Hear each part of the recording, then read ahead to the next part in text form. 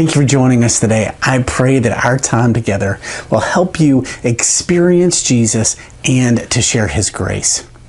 We are continuing our Relentless series. We're looking at the book of Hosea and seeing the kind of God that shows his relentless love on his people even when they're unfaithful. This book gives me such hope to know the kind of loving God that we serve. This week we're going to be in Hosea chapter 4 through chapter 6. If you remember from our last couple studies together that Hosea is written in a time when the children of Israel or they're, they're in the divided kingdom and the northern kingdom is where Hosea lived and things were going really well financially, economically in the time of Hosea. There probably hadn't been a more prosperous time since the time of Solomon. And so things on the outside look very, very good and exciting. But when you look closer, you look inside the heart of the people, you'll see that there was all sorts of unrighteousness, immorality, and most importantly, they had lost their love for God. And so God uses the prophet Hosea to cry out to the people to, to call them back into a deep, meaningful relationship with Him. And so we've already talked about Hosea's personal situation as, as he is trying to mend and reconcile his relationship with his wife Gomer. Now we go into this, this language where God is trying to reconcile his relationship with his people. And so what we're going to see in Hosea 4 through 6 is simply put three different things. Number 1, we're going to see God's indictment. He's going to he's he's pressing charges uh, in this courtroom imagery against the people of Israel, that they're unfaithful. And then we're going to see the impact that their unfaithfulness has had and, and to see kind of where it's leading them. Things may look good now, but as it, their sin finds them out, God gives them what they're asking for and He steps back out of the picture. What is the consequences that's going to happen? And finally, at the end of our time together today, we're going to see the invitation to return back into a loving relationship with God. So we have this indictment, this impact, and finally this invitation to return to a relationship with God. So I want us to read together the first part of Hosea chapter 4, and then we'll unpack it a little and we'll kind of see how it fits the bigger picture. Let's read God's word together. Hosea chapter 4, starting in verse 1. Hear the word of the Lord, O people of Israel, for the Lord has an indictment against the inhabitants of the land. There is no faithfulness or loyalty and no knowledge of God in the land. Swearing, lying, and murder stealing, and adultery are breaking out. Bloodshed follows bloodshed, and therefore the land mourns, and all who live in it anguish. Together with the wild animals and the birds of the air, even the fish in the sea are perishing. Let no one contend or let no one accuse, for with you is my contention, O priest. You shall stumble by day, the prophet also shall stumble with you by night, and I will destroy your mother. My people are destroyed for a lack of knowledge, because you have rejected knowledge. I will reject you from being a priest to me. And since you have forgotten the law of the Lord your God, I will also forget your children. We're going to stop right there as we looked at Hosea chapter 4, verses 1 through 7. So, what I want us to look at first off is this indictment that God has for the children of Israel. What is this accusation that God is making against his bride, his people, his wife? And it's pretty clear that it says the Lord has an indictment.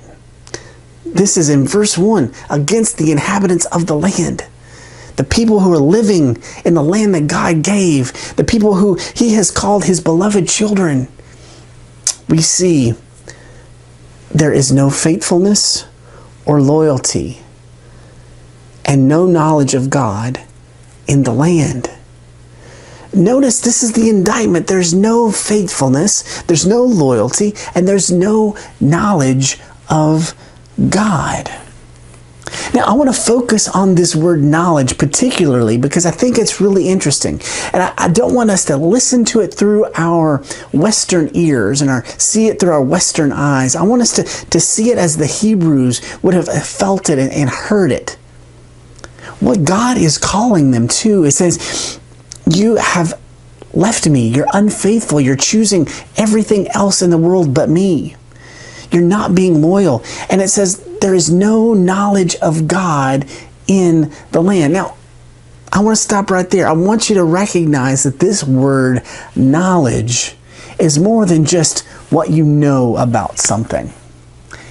It actually comes from the Hebrew word that means intimacy relationship as you might see in a husband and wife situation this this interdependence this intimate knowing it's more than just knowing trivia about it's a deep relationship with someone else so when god says there's no knowledge of god in the land what he's saying is they might know about me but they don't have an intimate relationship with me. And I believe this is the biggest indictment that God has for his people. He says, You might know about me. They, they have the writings of law, they, they, they know. The problem is there's no relationship that's dictating their actions. There is nothing in their heart that is, is relying on a relationship with God. Now, you might know about someone, but only in intimate relationship can you live your life dedicated to someone. I want to think about how that every day I make decisions that impact other people in my life. And so I actually have to make decisions with those relationships in mind.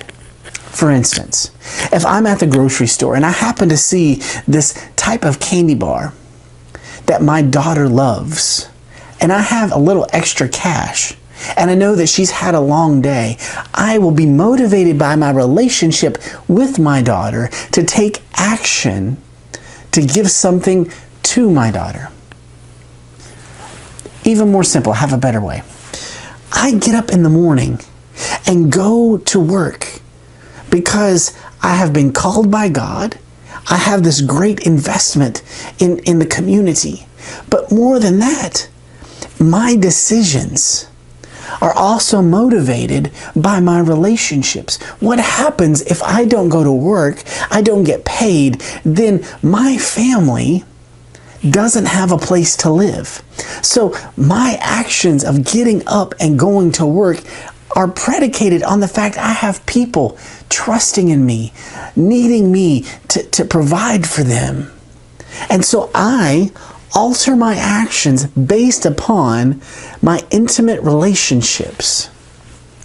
The problem that's going on in Israel right now is that they have been blessed by God, and yet their life is not shifting, reflecting an intimate relationship with the God who has blessed them.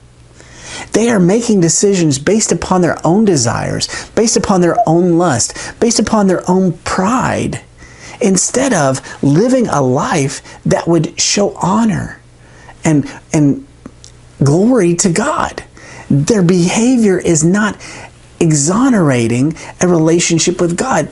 There is a hole missing in their hearts because they have rejected this intimate relationship with God at the core of their being, and it is filtering through their actions that they, as it says in verse 2, is affecting everyone else in the nation.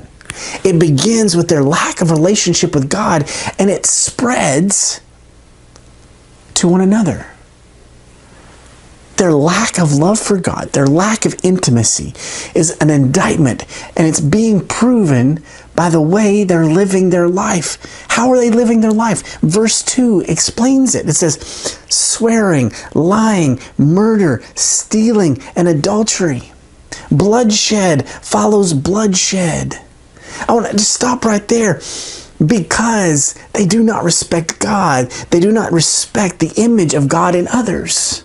And therefore, they're breaking all of the Ten Commandments. The, the, the, lying, the stealing, the, the not honoring God, and, and even the fact that murder is breaking out because pride has become number one in their life. Their relationship is with their own self. And it's demonstrated by their actions. Their lack of intimacy with God is affecting their relationship with others. And notice it says, violence and bloodshed follows bloodshed.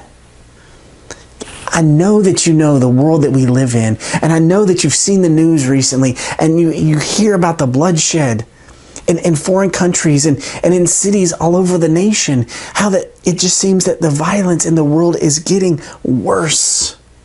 And that all begins with a failure to recognize that we as a as a people don't have a deep intimate relationship with God because if we did our behavior would look more like God.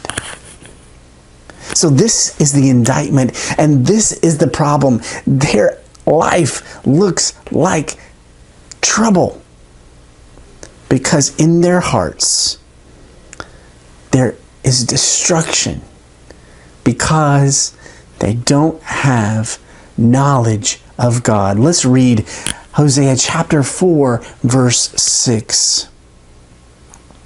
My people are destroyed for a lack of knowledge.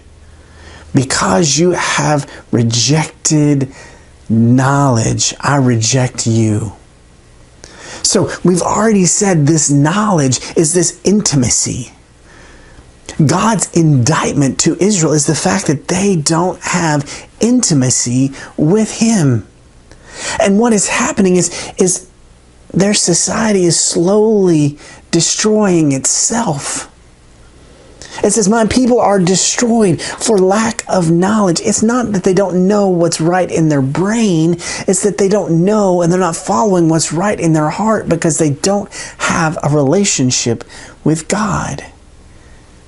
And it's because of that they've chosen to push God out of their lives, and thus it's being, God is being rejected. Therefore, they are rejecting God and they're pushing God out of their life. And then when things start to decay and are destroyed, it's only because God has given them what they want. Now, I want to tell you something about my two year old. My two year old loves juice. I mean, the kid could drink apple juice all day long, 24 7. But you know, as a loving parent, I have to deny him juice because if I were to give him as much juice as he wanted, if I were to give him as much sugary drinks as he wants, then what's going to happen is his choices are going to lead to the total destruction of his teeth. He might have gotten what he wanted, but in the end, it was the demise of something important in his life. So too is it with Israel. Because they have rejected the intimacy of God, the relationship with God, then they have chosen destruction over devotion. What about you? What are you choosing in your life today? Are you choosing to spend time with God? Are you choosing? To make time to worship God, to, to walk with God, to, to talk with God, to spend time to build your relationship. Because I'm here to tell you it's not good enough to know facts about God. It's not good enough just to even know your Bible. It's great to read your Bible, and I encourage you to read your Bible, but it's not the same thing as knowing and having a relationship with God.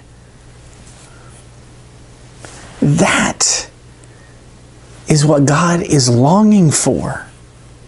He's longing for a relationship with you. You see, from the beginning, Adam and Eve were created perfect in the garden. The, the, their world was, was beautiful paradise. And God would come and He would walk with them and talk with them in the cool of the day. You see, we were created for a relationship with God. Not to, to fear God, not, not to, to, to shake in anxiety and we were built, created for an intimate relationship to spend time with God on a daily basis, to grow in our love and appreciation with one another. And yet, when sin entered the picture, it separated us from God. When you see that in Genesis 3, when, when man and woman sin, Number one, it creates separation between themselves, their guilt and their shame, and they hide from one another.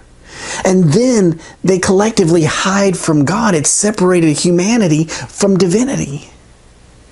And finally, what we see is that not only were the relationships between man and God and each other affected, but there was also this relationship that was separated, created problems between humanity and the home and the land in which they lived. So when God says in verse 3, the land mourns the sin of the people, it means that our sin changes our whole world. The, the, our curse of sin creates a curse upon the land. Literally, cosmologically, our sin destroys the earth. And it longs, Scripture says, to be released of the curse that we have brought and continue to bring upon the world. If only we would choose a relationship with God, that intimacy, that, that knowledge, like spending time together. Do you know what I mean? It's not good enough just to have a best friend. It's not good enough to have a spouse. You have to work on relationships. Can I get an amen? You have to invest in time, money. You just have to spend time with people. And, and love them as they deserve to be loved. Serve them as they deserve to be served. Because if you don't do that, you will no longer have a relationship. You know, what's interesting is I, I look at, you know, social media and I see people and I see the relationships and I go, oh, don't they have just the greatest relationship? And, and sometimes we don't know exactly what's going on behind closed doors. I remember reading that uh, someone that I really admired, I just found out that him and his wife had divorced, and it just broke my heart that their relationship was torn apart. And I wonder what God thinks when He looks at us when we're fighting amongst ourselves, church fighting church, clique fighting clique, the body of Christ being divided and ripped apart by disunity, by selfishness and pride, and how we are, are choosing our own selves instead of choosing God.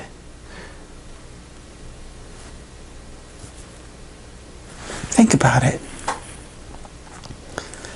In Hosea chapter 4, God makes the indictment.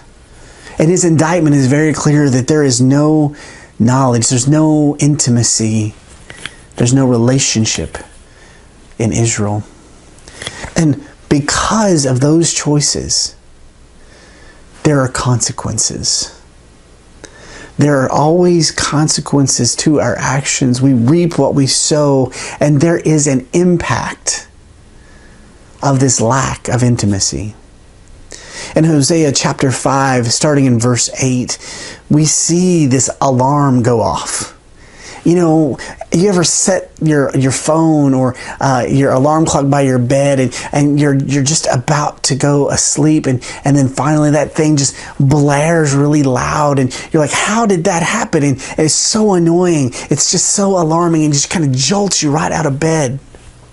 This is the alarm being sounded in Hosea 5, verse 8. He says, If you choose your pride over a relationship, over intimacy with God, there will be an impact. And here is the alarm. Verse 8 Blow the horn in Gibeah. This is sound the trumpet in Ramah. You know, make a noise. Sound the alarm at Beth Aven. Ephraim shall become a desolation in the day of punishment. Among the tribes of Israel, I declare what is sure the princes of Judah have become like those who remove the landmark. On them I will pour out my wrath like water. I mean, this is a very disturbing message. Sound the alarm. Look behind you. The desolation is coming in the day of punishment. It will be as if you were somebody who was a cheat and a swindler. In verse 10, those who remove the ancient landmarks, those who are, who are not honoring the covenant of their community and they're cheating other people. And it says, I will pour out my wrath like water. My kids love to have water fights in the summertime, especially in those hot summer days. And I, I, remember just taking a pitcher of water and just pouring out over their head. And, and it's so fun because they're enjoying the time together. And it's a hot day and that water just pours out and totally covers and drenches them. Yet this image of pouring of water is not a pleasant image.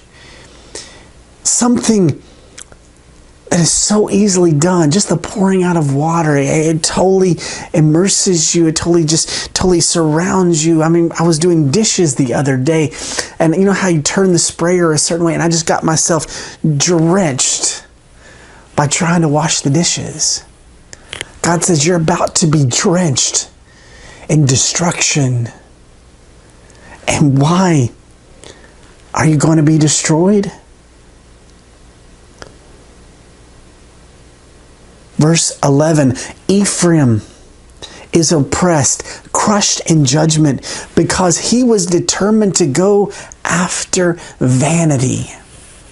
You see, the people of God have chosen anything else, everything else, than decide to have time and to live a life in relationship with God.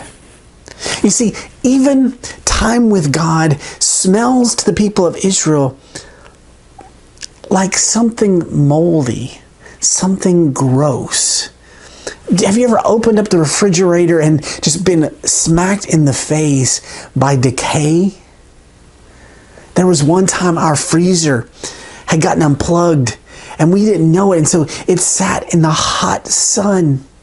The door was slightly ajar, and all that decay was just rancid and I just walked past it and smacked me in the face. It smelled horrendous. I wanted to get away. The image that God is using, that the people of God, it says, Therefore, I am like maggots to Ephraim and like rottenness to the house of Judah. The, the idea of God, they'd gone so far away from a relationship with Him that the thought of God made them sick to their stomach, like that rancid freezer gone bad. You see how our conscience can be seared, how our conscience can be distorted, and how our ultimate fulfillment is a life with God that we become so distracted. We become so wrapped up in a life of sin that even the presence of God seems and feels rancid to us. And yet, we see here in, in Hosea chapter 5 that the people smell it and they, they try to address the problem. They recognize that they're sick, and God is trying his best to woo the people back into a deep relationship with Him by showing them the rancidness in their own hearts.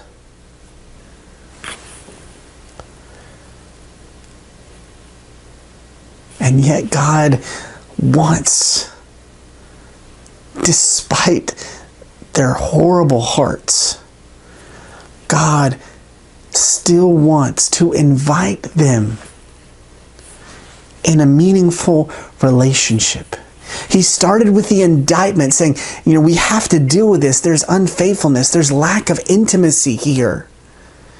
And their lack of intimacy is destroying them and their nation. In fact, judgment is coming. The enemy army is being prepared as we speak.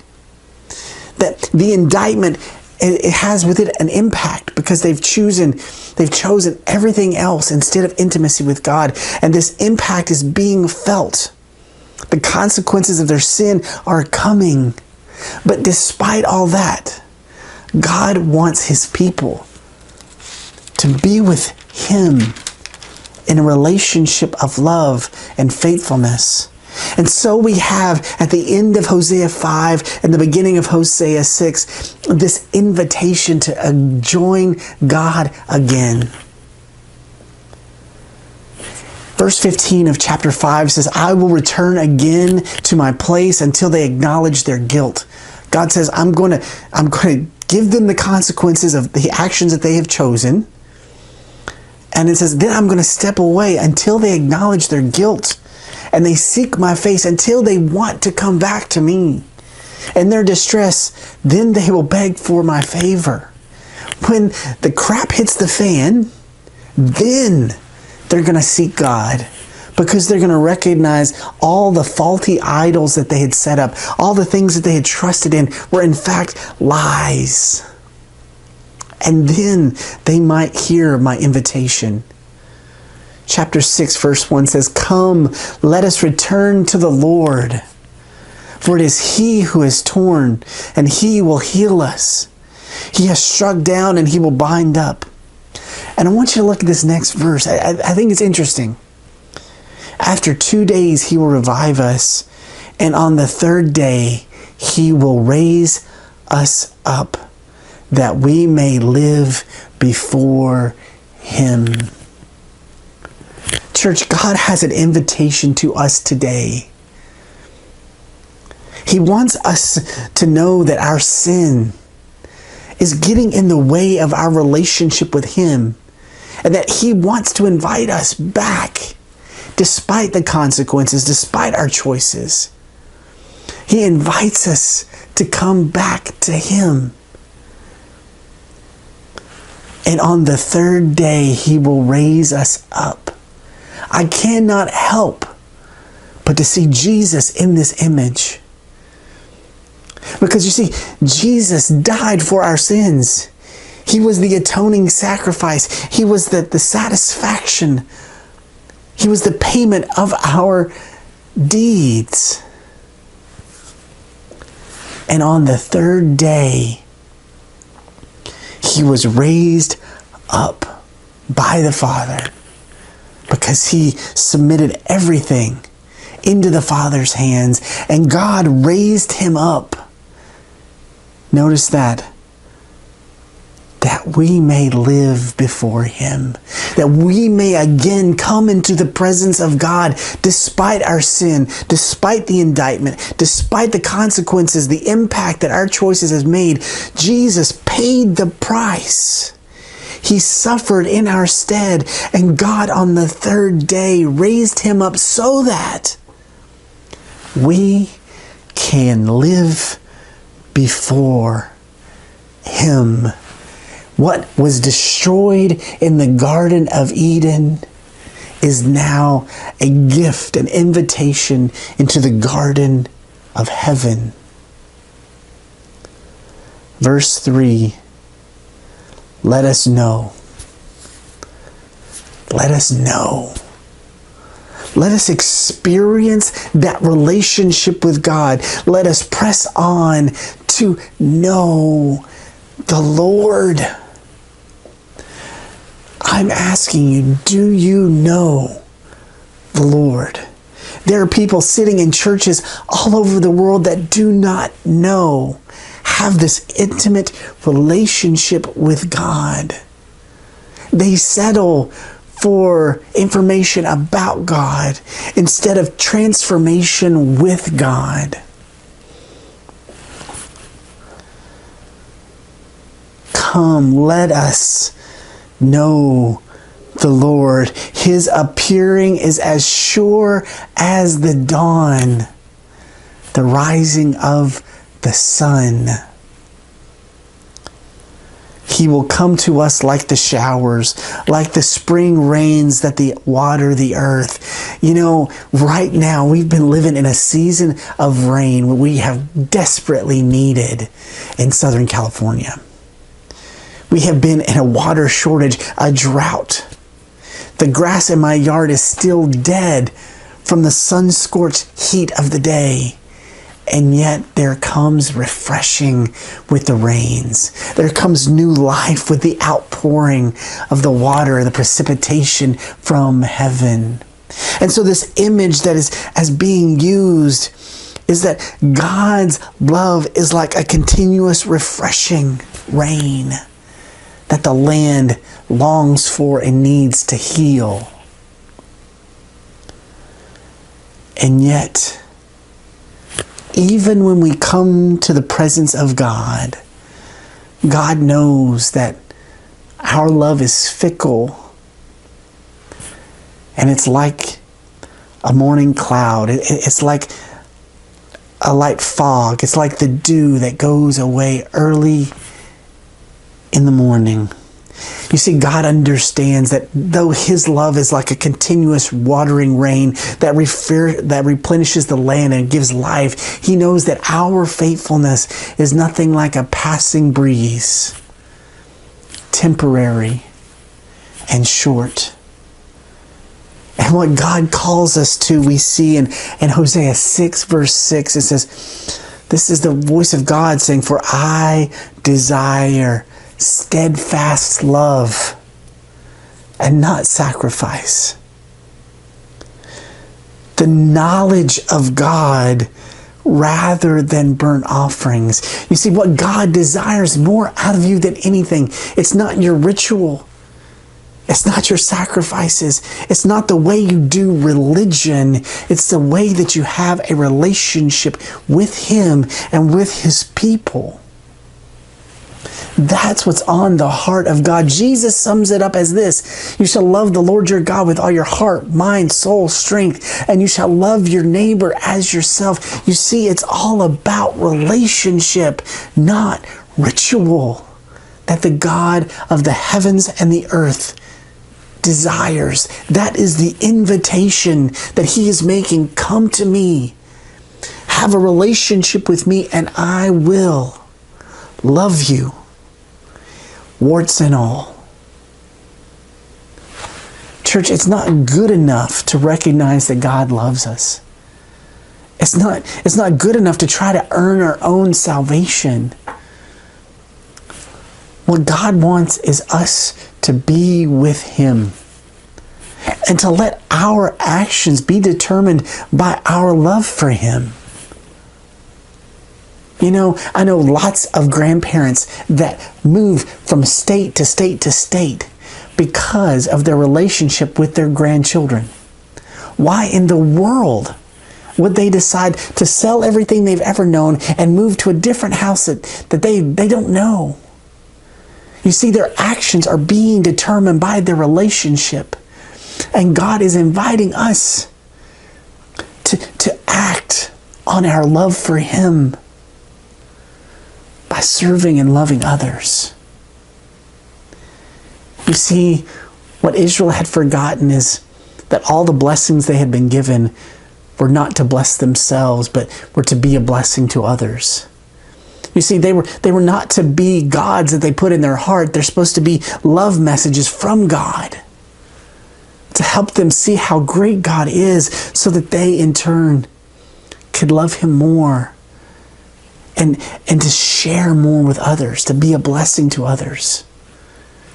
Church, I encourage you to heed the invitation of God. Because I'd much rather hear an invitation of love than an indictment of infidelity. God's not asking you to be perfect. He's asking you to be in a relationship with Him and choose Him first. He's paid a great price so that you might live among Him. Jesus came from heaven to earth for you to show you how much He loves you and to show you how much God the Father loves you. Don't miss this invitation. Because if you turn your back on this invitation, there might be an indictment coming. But Jesus paid that price so that we might know the Lord. Let's pray together. Heavenly Father, I thank you so much for wanting and desiring a relationship with us. Father, help us to overcome our weaknesses. Father, may your power come to us and through us, through your spirits, to recognize what we're doing wrong and to be changed by our love for you, and that you would give us the power to repent and to live a life based in that love of God. Father, forgive us and thank you for choosing us. Thank you for the invitation. It's in Jesus' name that we pray. Amen. I pray that this sermon has been a encouragement to you.